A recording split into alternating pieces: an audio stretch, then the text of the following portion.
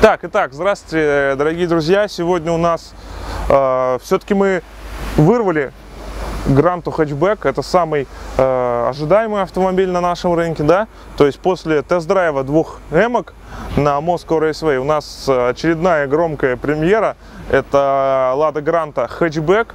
Тот автомобиль, который все ждали, и он должен был э, стать новой э, как бы эпохой э, как бы вот в автомобильном дизайне АвтоВАЗа, да. Давайте сегодня мы полностью посмотрим машину и, естественно, обратим внимание на багажник, да, э, посидим в салоне.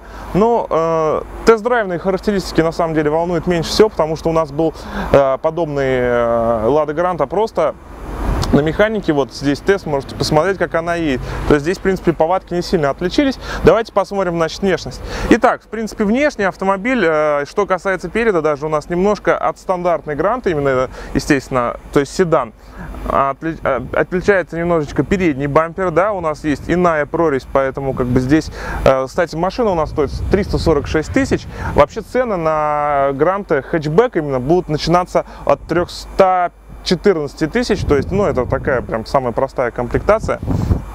Вот. Ну, внешне понятно, в принципе, внешне она отличается не сильно, только чуть-чуть изменился задний бампер. Давайте посмотрим сбоку. Итак, ну, что можно сказать сбоку? Сбоку можно было этот, этот э, автомобиль назвать, ну, не знаю, как-то вот, ну, не Lada Granta хэтчбэк, а как-то Lada Granta какой-нибудь хотбэк, что-нибудь там, спортбэк какой-нибудь там, что-то, ну, спортбэк уже, конечно, занят. Ну, что-то можно было спорту, спорт, спорт хэтч, там, что-то в этом роде. Естественно, машина пришла на смену а, нового поколения Самар, вот, и это замена на 14 поэтому, в принципе, вот ну, машина изящная, сбоку мне очень нравится, то есть у нас, в принципе, э, если визуально посмотреть, у нас изменилась вот эта вот часть двери, то есть штампы абсолютно другие, они не такие же, как на Ладе Гранте седан.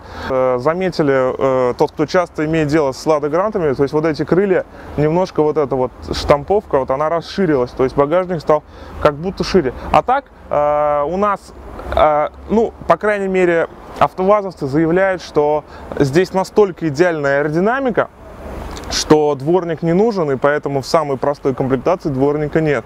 Это считается роскошью.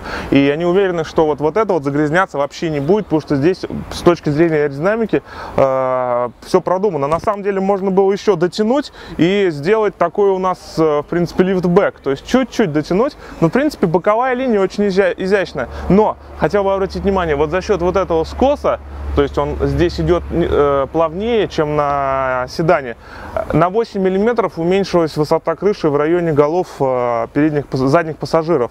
Так, давайте теперь посмотрим, в принципе, сзади, что у нас происходит именно вот с, по фарам. Итак, вообще на всех картинках АвтоВАЗа, фирменных пресс-релизовских, у нас э, прекрасно видно, что она представлена в серебристом цвете на 15 колесах, и она смотрится круто. Что здесь не видно? Здесь у нас не видно э, вот это вот, на черном цвете у нас не видно вот этой черной вставки, которая в серебристом цвете, как бы она, э, грубо говоря, э, нашу задницу, она делает визуально более легкой, поэтому здесь она кажется массивной, но в серебристом цвете черная как бы так вот оттеняет, она кажется меньше. Здесь, естественно, э, фонарь ходового огня, вот, и вставка под номер. Она, кстати, другая, не такая же, как на э, хэтчбеке. Ну, сзади я бы все-таки что-то вот с фарами сделал. То есть можно было... Фары как-то вот, ну, здесь не вписываются. Можно было, может быть, их как-то округлить, вот как-то вот так довести. Вот. Я, конечно, не специалист в дизайне, но вот, э, мне кажется, был бы актуален такой небольшой спойлер э, здесь. Значит, Гранта хэтчбэк у нас будет, э, значит, Гранта хэтчбэк в самой простой комплектации у нас будет начинаться, естественно, с 1.6, но это та же, тот же самый 1.6 с облегченной поршневой, который ставится на Гранты. Вторым мотором это у нас будет Приора, классически известный нам старый добрый приоровский двигатель, ну может не совсем добрый. Вот. И э, в максимальной комплектации у нас будет э, мотор 100, новый 106, 106, 106 сильный мотор. На автомате будет идти только приоровский двигатель. Вот пока не научились их э, сочетать с новым двигателем, а автомат четырехступенчатый ниссановский. А, значит, что у нас? В принципе, здесь без изменений, то есть такого что-то слишком нового под капотом. В максималке, кстати, у нас будет, по-моему, САС подвеска стоять, то есть там будет газовые амортизаторы, там стоять будет, то есть подвеска будет энергоемкая и 15 колеса также уже будут стоять там в максималке именно. Так, давайте теперь, наверное, посмотрим. А, кстати, обратите внимание, что здесь уже шумоизоляция есть и уплотнитель. Давайте посмотрим по салону изменения. А, пол так застелен, знаете, вот как только что, вот, то есть как-то он хлипко сидит. Но, в принципе, требовать от машины, от машины ценой в 300 тысяч в, в старт, то есть что-то там ну ладно, значит, по салону, в принципе, один из самых просторных вазов, да, место над головой есть, э, руль регулируется у нас только по углу наклона. А, новый набалдажник здесь у нас присутствует, то есть, ну, в принципе, здесь уже тросиковый привод, очень удобно, очень удобно, пятиступка и задняя вот так вот, то есть, да. А так, ну что, комфортно. В принципе, что-то говорить, что здесь как-то все плохо и ужасно, я бы не сказал. Вот это вот единственное в серебро бы покрасить, а так было бы замечательно.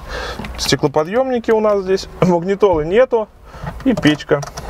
Все скромно, по-спартански так и сердито. Итак, э, сел сам за собой. Но мне вот эти вот, как-то, знаете, сэкономленные задние подголовники, их обрезали, чтобы минимум материала тратить. Э, в упор, помещ... то есть кое-как помещаюсь.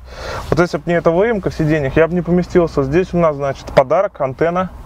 То есть, э, если вы покупаете Ладу Гранту, вам ну, не перекручивают сами, вот, они дают вам в подарок. Либо это антенна, либо это волшебная палочка, то есть ты можешь сказать, давай V8 под капот, да, давай пневму мне сюда, и можешь сидеть так и управлять своим автомобилем. Думаю, такой юмор от АвтоВАЗа. А, как его, ну все, здесь в принципе нормально, но э, даже с учетом того, что V8, э, V8 говорю, у меня Фрейду оговорочка, э, дурные мысли всякие развратные в голову лезет, когда в гарантии сидишь на заднем сиденье. А, несмотря на то, что на 8 миллиметров сократилась крыша, э, мы как бы все равно, вот у меня рост метр девяносто два, я, ну, Нельзя сказать, что я упираюсь головой. Э, удивительно, что не такая и короткая вот эта вот нижняя подушка, сидеть достаточно удобно. Здесь у нас фиксаторы для ремней безопасности, да, чтобы они не валялись под сиденьем, не залетали при складывании. Достаточно удобно вот это вот придумано, вот эти вот э, фиксаторы.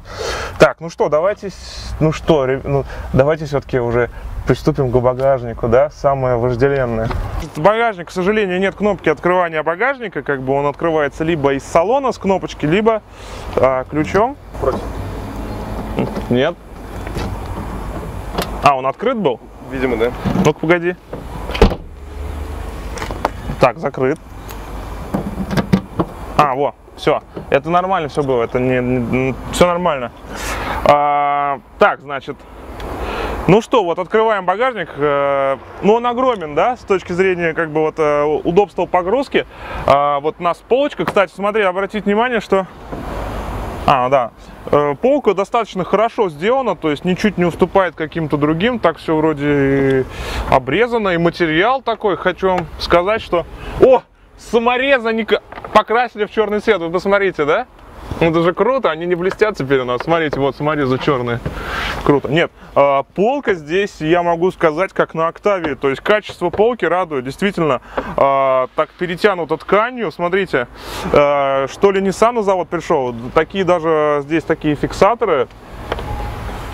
Полку как будто не на автовазе делали, да? А она почему не снимается? А полка что, не снимается? А, все, понял. Так, Давайте снимем полку ее. Вот так вот. Теперь вот у нас огромная погрузочная, огромный багажник. Сюда мы можем сесть. И прикрыться, кстати, да, у нас такой навес здесь образовывается. Вот. Но уже на гонке приехать и сказать, кого надрать, уже не, не получится, как на RS4.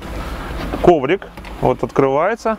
Здесь тоже таким войлоком, достаточно э, шумоизоляционный он как используется как материал. Э, полноценная запаска, то есть э, полноразмерная. Здесь кулек с семечками. Вот, и домкрат. Все. Как складываются сиденья, я честно не знаю, но с точки зрения логики, давайте попробуем. А, ну вот, все. То есть... Так, двигаем, значит, сиденье назад. Вот эти отпускаем. Это... Блин, я вот до упора подвинул. А, ну вот так вот.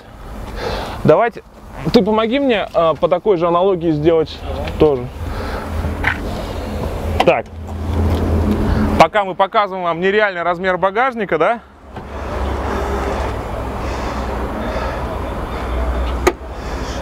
Ага, вот так вот отодвинь. И там надо так. Передок надо подвинуть. А, то есть э, максимально нужно сиденье за переднее сдвинуть, чтобы вот э, вперед, чтобы он так продвинулся. Ну или для... Вот вам, пожалуйста. Зачем вам надо Ларгус покупать? Смотрите, какая гру- грузовая платформа. Туда много чего можно положить. Но, к сожалению, тещу уже с женой, с детьми не посадишь назад, но что-то по хозяйству перевести все круто. Значит, ну что, по-моему, все по багажнику, да? А, ну, действительно, сделано неплохо, все закручено, все уплотнители не, не торчат, нигде криво не обрезаны. А, в принципе, неплохо, неплохо. Давайте попробуем закрыть. Закрываем мы так, вот ручки для закрытия здесь, конечно, но вот только вот это, но не очень удобно держаться, при, при- все время будет держаться, кстати, вот за эти места, за грязные будем держать.